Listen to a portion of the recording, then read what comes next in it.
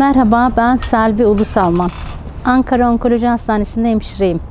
Rutin kontrollerimi yaptırmak için doktora gittiğimde e, meme kanseri olduğumu öğrendim.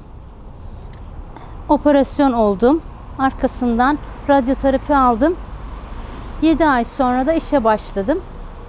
E, bu hastalığın bana ikinci bir e, şans verdiğini düşündüm hep. Onun için bazı değişiklikler yaptım hayatımda. Şu anda günlük spor yapıyorum. Daha öncesinde sigara içiyordum. Sigarayı bıraktım. Şekeri bıraktım. İşe başladım.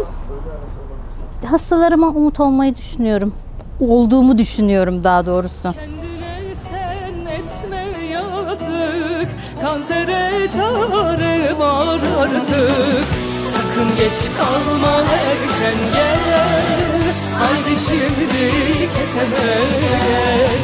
Sakın geç kalma erken gel. Haydi şimdi keteme